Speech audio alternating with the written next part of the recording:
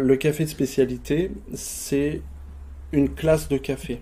C'est du café qui est euh, noté, qui dépasse 82 points en dégustation à l'aveugle. C'est une traçabilité complète, on sait exactement ce qu'on achète, d'où ça vient, qui est le producteur, etc. Et euh, c'est zéro défaut de catégorie 1, qui en, gros sont des défauts qui altèrent le goût euh, de la tasse et qui peut endommager aussi le matériel. Ensuite, ça n'a pas d'implication forcément sur le mélange. Le mélange, c'est le choix du torréfacteur, c'est sa recette. C'est un choix, c'est une ligne euh, éditoriale, si on peut dire comme ça. Euh, mais ce n'est pas obligatoire. Moi, par exemple, je ne fais pas de mélange. Je travaille que de la mono-origine parce que je préfère conserver le travail du planteur. En ce moment, au moulin, on a un café qu'on appelle Las Plumas del Guarani, qui est un nom que j'ai complètement inventé, hein. origine du Brésil, euh, pour la région.